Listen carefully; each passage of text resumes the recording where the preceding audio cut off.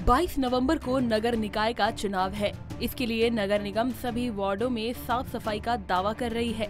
लेकिन जब वार्डो को जांचा गया तो पाया कि सड़कें नाली के पानी से डूबी हुई हैं, कूड़े और गंदगी से मोहल्ले भर में बदबू फैली हुई है जिससे यहाँ के लोग काफ़ी परेशान हैं।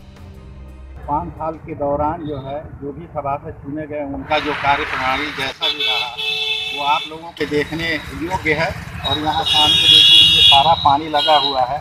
ये सड़कों का हाल चाल जो है वो ये है।